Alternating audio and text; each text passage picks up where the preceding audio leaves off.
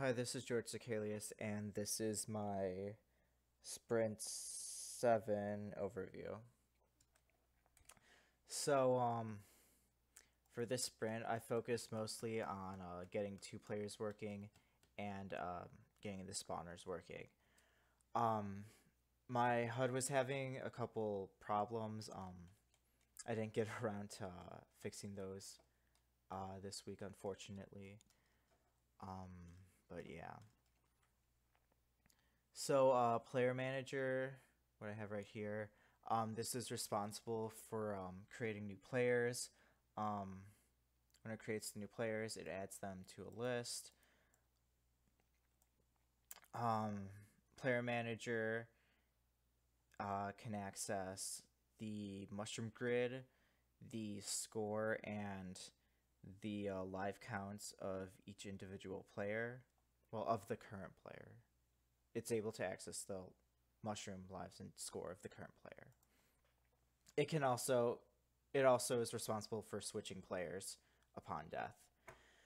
Um, so yeah, so in order to go with that, I created the uh, player object, and the player object just holds all that data, holds the grid, the it also holds the input controller. So if it's an AI or if it's a human, like that, I guess that as of right now, that's the only reason why that would be different between them. That that doesn't make sense. Anyways, so yeah, it holds the grid. It holds the score lives. It also holds the uh, current wave that this player is on. Um, so yeah, and then the player manager will just access all of that data and then distribute that accordingly to whoever needs it. Um, so yeah. And so along with that, I uh, did some work on my file handler. So now it can take multiple waves. Um, so yeah, wave one it'll read all this, it'll then take all the variables and store those inside of wave one to be read later by the spawner. Um, so yeah, this is one wave. Wave two, I only have three waves right about, as of now.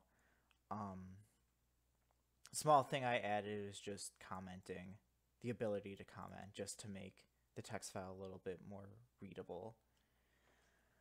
Um, so yeah, it, it parses that fine. Um, file handling, Okay, um, so yeah, going on to my spawner.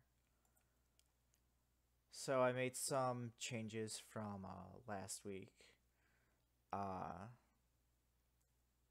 so now, whenever the player gets hit by a centipede, by a uh, critter, it'll make a call to spawn the wave.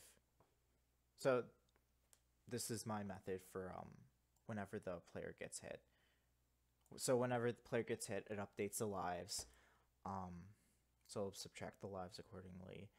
If the player gets hit, it, uh, I'll, I'll talk about that later. So updates the lives. It then clears the board of the, all of the critter, all of the current existing critters, and then it spawns the uh, it respawns the wave, and then updates the HUD display of lives. Um, if the player, the way I have it set up right now, the current player will. It, it doesn't switch off between players after every hit. It'll switch off after each player is, runs out of lives. So when a player runs out of lives, then it'll switch players and uh, yeah. So prov get next player, what that does is it iterates through the list, grabs the next player, it'll then update all of the um, variables, and then yeah, and then any the any class that needs them can access them through the player manager. Um, what else did I want to talk about? So yeah. Oh, I guess I can kind of mention this. So wipe all critters. What that does is. Oh, this is this. Okay. So wipe all critters. It makes a call to each uh, critter factory. And what that does is.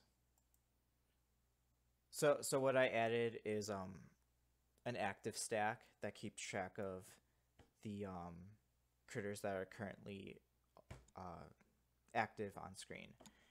And uh, when wipe critters is called, all that uh, all that'll do is go through the stack, um,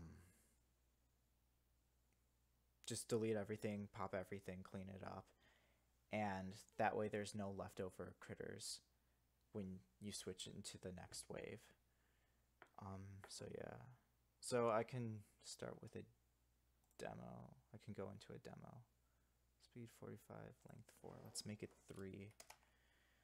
Um, Scorpion 10. Spider, that's fine. Okay. Actually, I have to build it again. Oh no. Okay. Centipede is length 3. The the spiders still need states. That's something I still have to add. I, I'm still planning on adding that. Okay, so this is the next wave.